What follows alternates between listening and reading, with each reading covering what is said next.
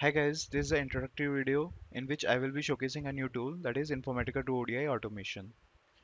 So this tool is divided actually into three parts. First is the exporting of Informatica workflow. In this, we connect with Informatica repository and explore, exports the required workflow in XML format. The second is the parsing of that XML format that is Informatica workflow and create a simple Excel sheet out of it.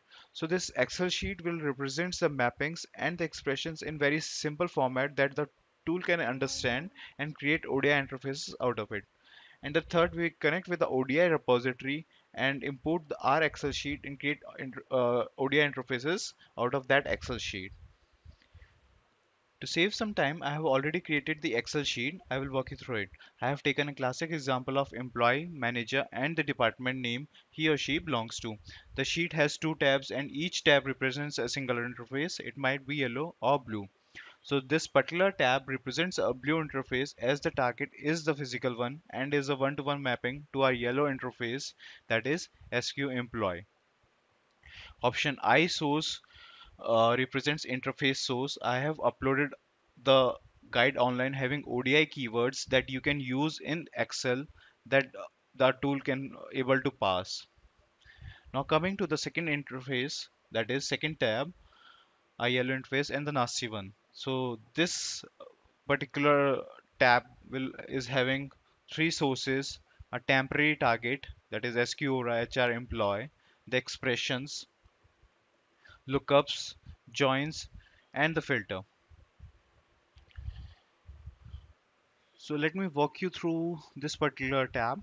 So this join condition we are using to join department and the employee and the job table okay so the sources in here we get got is employees departments and job the employee name is concatenation of first name and the last name manager is concatenation again of the first name and last name but we are getting the manager by applying a lookup on the employees table with this lookup condition.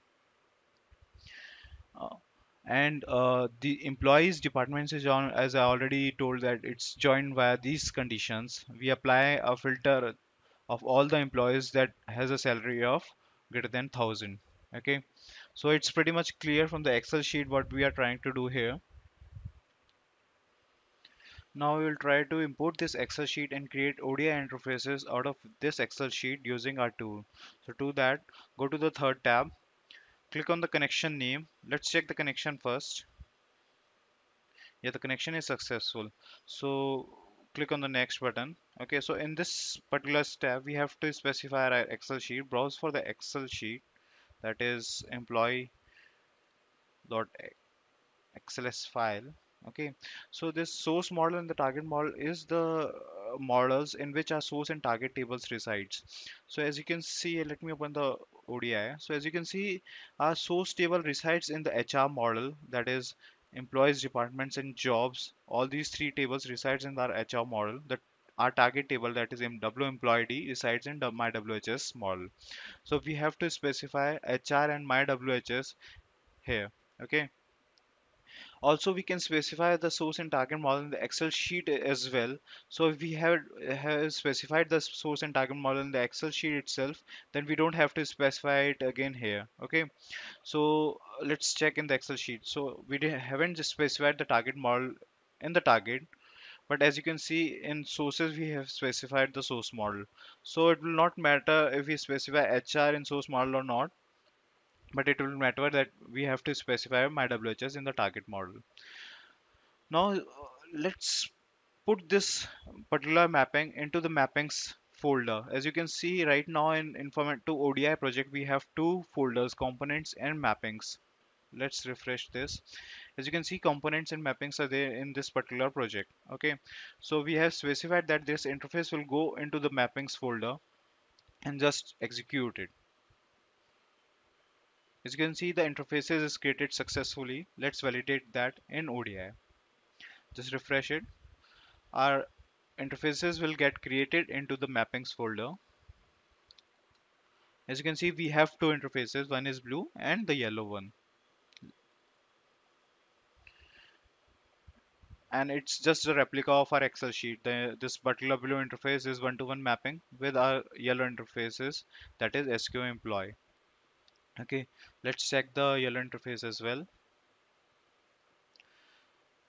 As you can see in our excel sheet as i already uh, talked about we have employee name as concatenation of uh, first name and last name. Manager is concatenation of first name and last name. We have job title we have department name and we have lookup filter join conditions and the sources. Okay so it's just the same. Manager is the concatenation employee is a concatenation. We have department name. We have job title. Let's check for the sources. We have three sources. We have a lookup condition.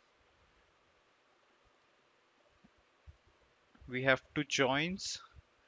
We have a single filter. That's employee salary is greater than 1000 now let's check by executing this particular interface whether it's created successfully or not to open that we uh, let's me let me open uh, SQL developer first and truncate the target table that is w employee d. So as you can see w employee d is truncated.